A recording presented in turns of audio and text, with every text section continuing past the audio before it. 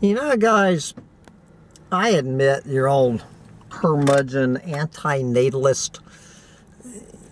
You know, sometimes I talk trash about breeders, about expectant mothers and parents with small children and all those fucking little irritated rugrat brats we gotta put up with and the fucking school buses and fucking dirty diapers everywhere and goddamn uh, listening to that fucking bullshit on a on a plane when you're trying to get some fucking sleep.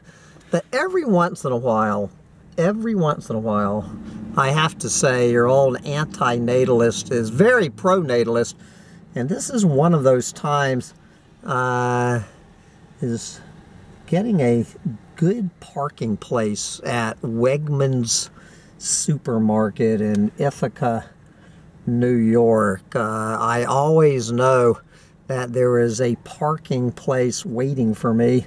it's every bit as good as the handicapped uh, because, you know, having children is a handicap.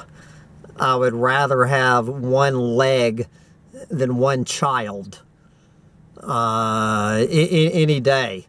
Uh, so anyway, but I want to thank all of the expectant mothers and parents with small children infesting Ithaca, New York like a bad case of bed bugs for uh, giving me this fine parking place at Wegmans because I have to go in and get me some limeade for my margaritas here on this gloomy. This is wildfire smoke that you're seeing here. That is wildfire smoke in Ithaca, New York.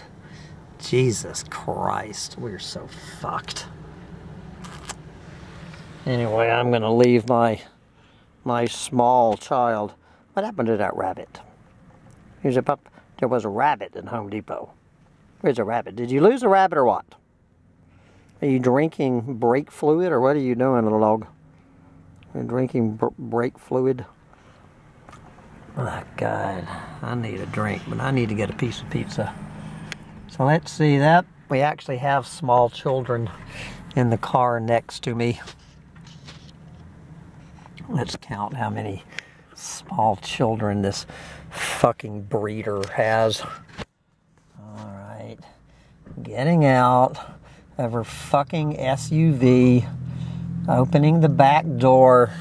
The fucking little brat is is having some little hissy fit. He, he's having a screaming hissy fit because she interrupted something that he was doing on his cell phone. And the little fucktard can't go 10 fucking minutes without having his fucking little Game Boy in his paw.